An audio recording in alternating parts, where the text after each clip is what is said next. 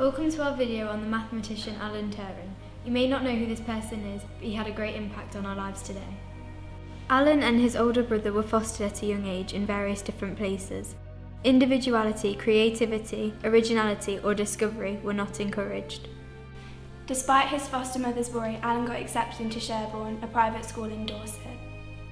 Although it was obvious from a young age that Alan was a great mathematician, his school reports were not the best. One maths teacher said, Easily the best mathematician in the set. Well done. His position is caused by untidiness and carelessness due largely to impatience to let on something great as soon as he has seen his way through a problem. You need to up your game, son. Another teacher said, A really able mathematician. His trouble is his untidiness and poor style, but he has tried hard to improve in this. He fails over a simple problem by trying to do it by complicated methods instead of an elementary one. Alan!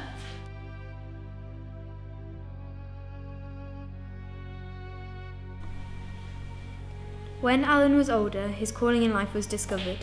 By 1940, thousands of U-boats were getting sunk by orders through the Enigma machine, so it became necessary to break it. Let's take a closer look at the maths of the Enigma machine. Each Enigma machine was loaded with three rotors of 26 letters from a choice of five. n factorial gives us the number of unique ways of positioning items in a sequence. There are a choice of five rotors for the first position, four for the second, and three for the third, so there are 60 combinations of three rotors. Each rotor has 26 positions, that is 26 times 26 times 26, which equals 17,576 combinations.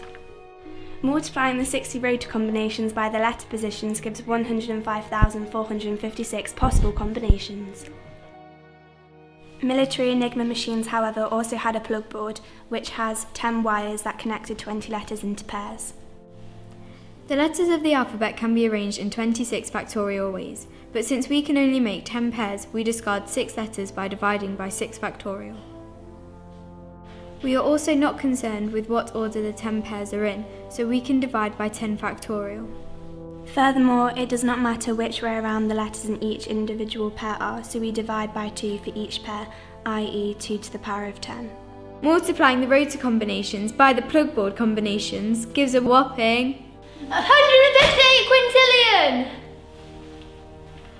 962 quadrillion!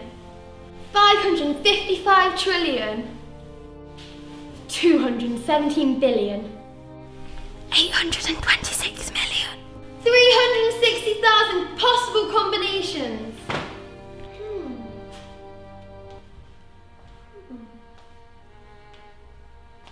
There are far too many possibilities to work through in one day. How can I reduce the number of possible combinations?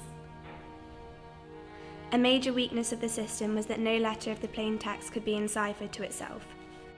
This meant that by searching for standard messages such as weather reports, or nothing to report, you could eliminate one or two of the rotor positions and therefore reduce the number of combinations.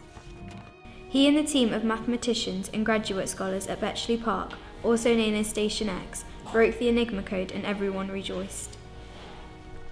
Teenagers to this day don't always feel safe with their sexuality, despite the law saying otherwise. When teachers don't believe in their students, it impacts on their work even more, resulting in them feeling worthless. Alan Turing was a great role model as he proved everyone wrong and never shied away from his own self-belief.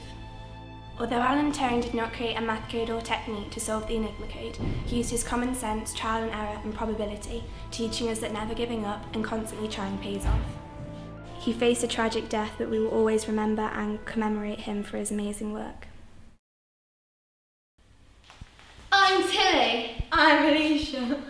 And I... She can do it by herself.